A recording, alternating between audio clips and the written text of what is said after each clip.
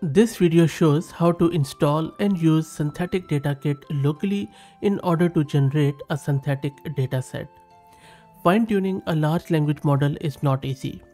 99% of the time, the fine-tuning of a model fails due to the underlying dataset. This is Fahd Mirza and I welcome you to the channel. After working with various clients on various use cases where the major challenge was to obtain, extract, curate, and then convert the PDF files, the text files, and various other formats into a proper dataset, I can say that this synthetic data kit is a fresh um, breath of air because not only it tries to simplify the process, but it also addresses the problem in a modular way where it goes about it in four steps. First, it ingests the files, then it creates the fine tuning format, and then it curates it and then saves it. So we are going to install it locally and then I will show you in a step-by-step -step process how to go about this. So let's get started and I will be talking more about its architecture. I also want to thank Massed Compute for sponsoring the VM and GPU for this video. If you're looking to rent a GPU on very affordable prices, you can find the link to the website in video's description. Plus, I'm also going to give you a discount coupon code of 50% for a range of GPUs. This is the VM I'm going to use and this is the GPU NVIDIA RTX 6000 with 48 GB of VRAM. And GPU card is important because I'm going to use a local model with the help of VLLM. If you don't know what VLLM is, it is a very fast inference engine. I have done heaps of videos on VLLM as how to install it, how to configure it. So please just uh, search my channel and get it installed if you don't know how to install it. Okay, so let's go back and get started. First, I'm going to create a virtual environment with Conda. And now then git mm, clone the repo and I will drop the link to it in video's description. That is done and now we need to install the synthetic data kit and the command is simple pip. You can also install it from source but this is okay. While it installs it, let me also introduce you to the sponsors of the video who are AgentBot. AgentBot lets you effortlessly deploy a personalized knowledge bot across platforms like Discord, Slack, and others. It is ideal for open source tech communities and startups that provide user support, and I will drop the link to their website in video's description. Okay, so everything is installed and you can ignore these warnings for now.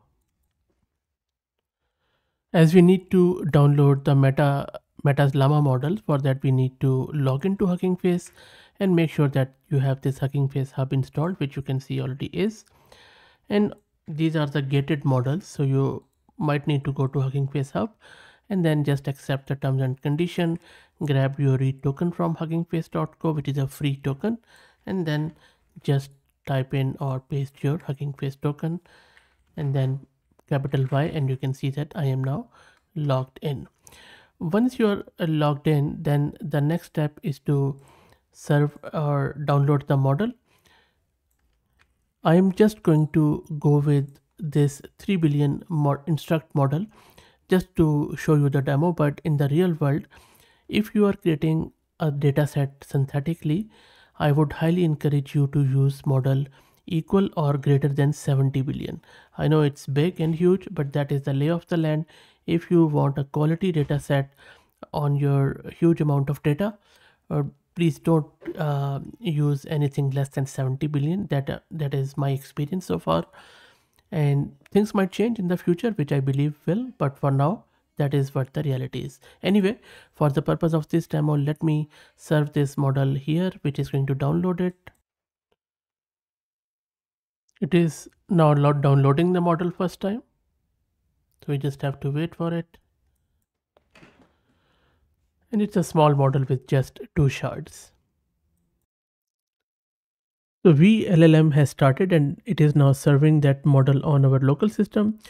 Just minimize this window and then open another terminal window where just um, maybe activate that environment again. If you are using UV or whatever environment you are using from here you can simply run this command synthetic data kit help which is going to show you the help. And this also confirms that everything is running fine. If you also want to verify if your synthetic data kit is now able to see that model served by VLLM, simply run this command system dash check. And you can see that it has um, successfully returned the result where it is showing that this is the endpoint where the model is being served. And this is the model which is running at the moment. So our synthetic data kit is ready. Our model is ready. Let's see how this tool works now. Now within the repo what you can do you can either go to the existing data directory. And if you do ls here you will see that they have different directories with the file type name so we have different for pdf html document clean txt and all that stuff so for instance, if I go into PDF, you will see that it is empty, but you can put in your PDF file here. If you go to TXT, you can put your TXT file here. And this is very important. Whatever your file type is, first you have to move it to this respective directory. So make sure that you have placed it. Now let me put in one of my file here. For the sample, what I have done is I'm just going to go with this text file. So this is test.txt, which has some random text in it. And after you have done it what you need to do you need to go to your config.yaml file where which is in the configs directory in the repo. And if you're using a 70 billion model like llama 3.3 just go with it. But if you have downloaded a separate model with vllm make sure that you specify it here in line number 25 as i have just done where i'm going to go with 3 billion model and this endpoint will remain the same. And you see there are a lot of other things which you can change like output location input location maybe you are you know loading the data from elsewhere. And this is um, where you can set some of the hyperparameters and stuff. And some of the even question answer pair or chain of thought uh, pair which you can generate out of it. Anyway so but i'm just going to change my model here. And then you can simply run the first step which is ingesting the file. And the data has been ingested and it the new file has been placed in this output directory which is test.txt let me also quickly show you as we go about. So this is data directory. There should be um, an output directory here this is the one and this is the test.txt so this is a file which it has been ingested and i think it also does some sort of pre-processing here. Next up, we can simply go and then create a question answer pair. You can see that the data set which we want to create is a QA type and you can also go with the chain of thought. And once you run it, it is going to, okay, so it says that it couldn't find the URL. What it means is that it was unable to access this 8000. If that happens, it means that for some reason your VLLM server has stopped. All you need to do is to just restart your VLLM. Okay, so after even restarting VLLM, it was giving me some error. So what I did uh, after restarting VLLM, I simply go went in and then specified this relative path to my config file. And now it was able to do it properly. So you have to do both steps. Restart vllm and then make sure to specify the path to this config.yaml where we have specified our new model. And there you go. So you can see that it has uh, done it. It has created 38 question answer pair total and the results have been saved here which i will show you shortly. And so data generated test qa let's go there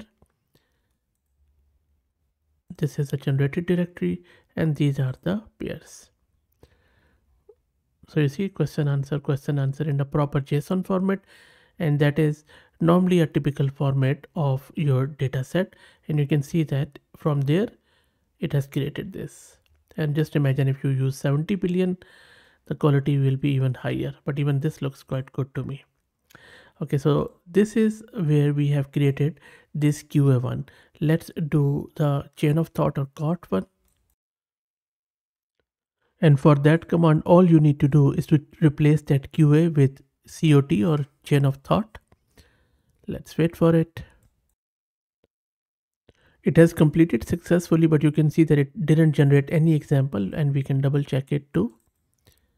so I'll just dismiss this you see so there have been no uh, so there could be two reasons. First either the data is not compatible uh, we, we might need more data here or secondly we might need to use some big reasoning model in order to do so whereas i'm just using a 3 billion model but the process will be the same. Another cool feature is that if you have a humongous amount of data which also need cleaning up or curation, where a separate LLM you could use or the same one in order to check and only put in the high quality one, um, the data I mean. For that you can simply use this curate command and then it is going to clean it and put it in your cleaned stuff which you can check out the data cleaned. So go let's go to clean one and this is where you can find the clean one as how many it has cleaned it didn't really uh, i think it filtered zero so it had kept all of it because it thinks everything is good there. So look this is mainly geared towards humongous dataset but i believe one of the good tools out there from llama. There is no Ollama integration at the moment if you're wondering only with VLLM and I would highly suggest that you go with VLLM and with 70 billion model if you have your data set. Also towards end if you have pdf files then make sure that you have some pdf parser installed like i believe they use um, pdf miner. And we already have covered it on the channel. For html make sure that you have beautiful soup installed. And for if you even if you can even parse youtube video for that you would need the youtube transcript api uh, for docx and for pptx you would need the re relevant packages and I think it is already mentioned in their repo. Let me scroll down quickly. Before we, I let you go I will show you. So let me go here. So you see this is where at towards the end of the repo for PDF install this tool. And for HTML this for YT this for docx and for PowerPoint this one. Still very early days of the project but looks very promising let me know what do you think. If you like the content please consider subscribing to the channel. If you're already subscribed please share it among your network as it helps. Thank you